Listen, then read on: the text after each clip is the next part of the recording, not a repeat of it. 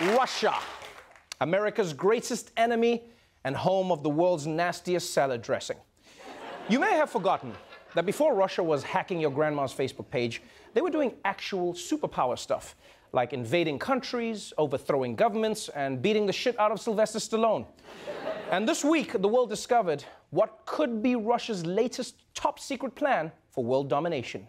A seemingly tame beluga whale was spotted off the coast of Norway, and this morning some believe this whale is actually being used to gather intelligence for the Russians. It sounds like something out of a Cold War spy novel. According to reports, the white whale, wearing a strange harness, appeared to be harassing boats in the Arctic. The straps on the harness also had a logo reading in English, Equipment St. Petersburg. Some experts believe this beluga whale was trained by the Russian military to be a spy. Okay. Okay, now I've heard it all. The Russians are training whales as spies? That is next level. And also, I don't think you want a spy that can easily be flipped by just operating at fish, right? Like, think about it. It's not going to be a good spy. People will just be in the interrogation room, like, tell me where it is. And the whale will be like, you'll never make me talk. Anyone want a fishy? but the question is why would Russia have a spy whale swimming around the Arctic in the first place? Well, we'll tell you why in our newest segment. If you don't know, now you know.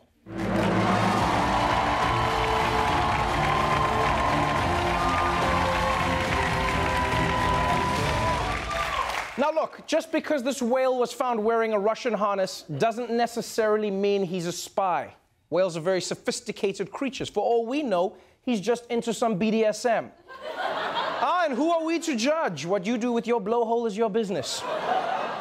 but the reason people suspect this whale may be part of a crazy Russian plot is because in that region of the world, Russia has been getting up to a whole lot of no good. The Arctic is the newest and most daunting front in the expanding global competition between the U.S. and Russia. These five and a half million square miles are under an intense battle for dominance. Russia has aggressively expanded its military capability in the Arctic, establishing and expanding a northern command, forming Arctic brigades. They even planted a titanium flag on the seafloor beneath the North Pole. Russia planted a flag on the seafloor?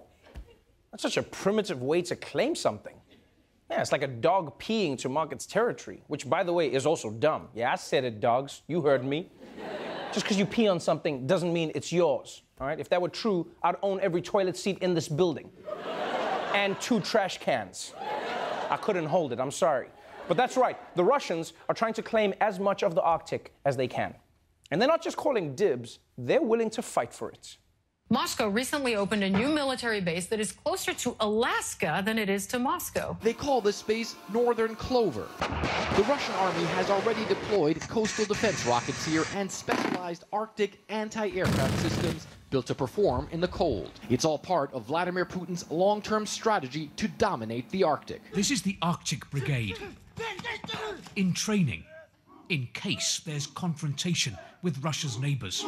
The Kremlin has also previously released video of reindeer riding Russian soldiers.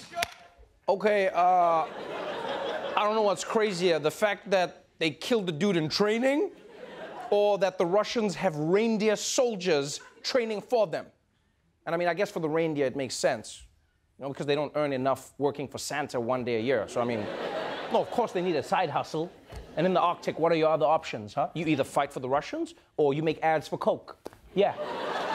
By the way, uh, I've always wondered why is a polar bear drinking Coke supposed to make us want to drink Coke? I don't get that. Hey, do you also eat dead walrus? Then I've got the drink for you. and I know you're probably wondering, why don't we just let the Russians have the Arctic? We don't need any more ice. Todd brought a whole bag.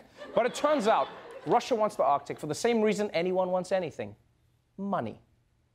Across the Arctic, ice cover is shrinking at an alarming rate.